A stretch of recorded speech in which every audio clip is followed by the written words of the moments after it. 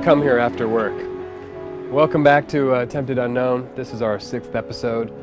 Um, we're here with Lloyd and Ballard at the Four Bs, which is a spot that we come down every once in a while. Well, Lloyd and I are going to talk a little bit about how we've changed as people since we've been in the Postal Service, and then uh, I think we just might drink some beer. I'm part of your sixth episode. You're here for the Wait, wait, sixth wh- wh- what is this?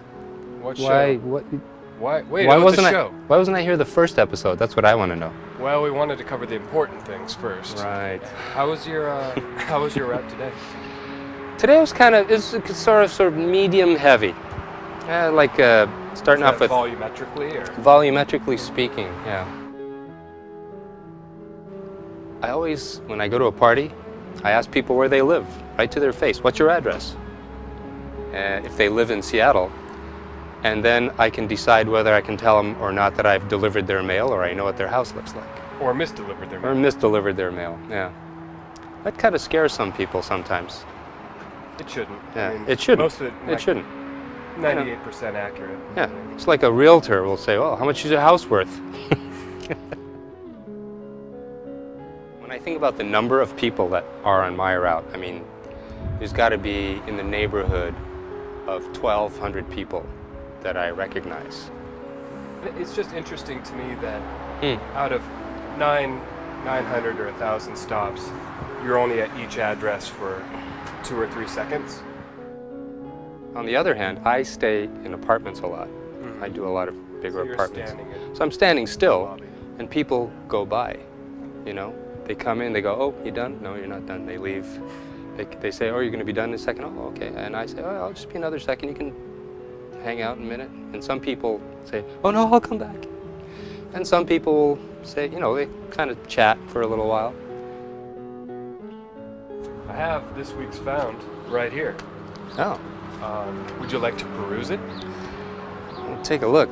Just so you know, I don't have my reading glasses on. Is this page? Which? Where do we start? Here? Right. Okay.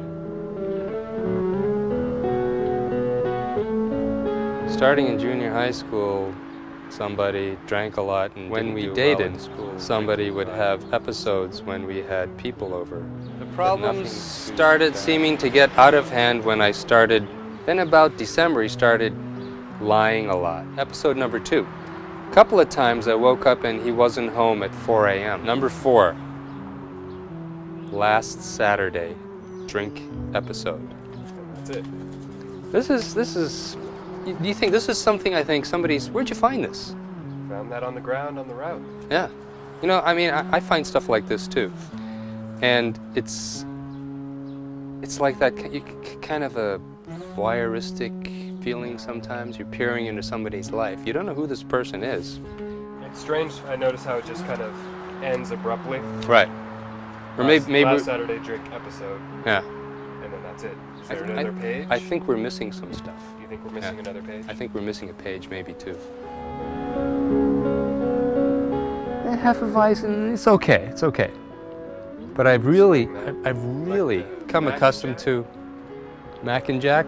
Not for old people, by the way. I'm discovering that. Rolling Rock. Let's go get some paper bits. Hey, Verwitzen.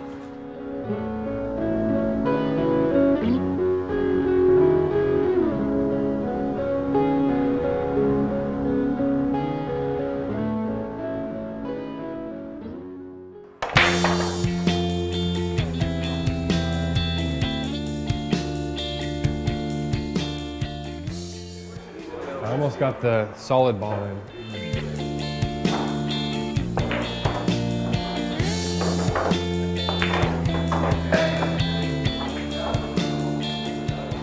Playing with Lloyd because I don't have to do much.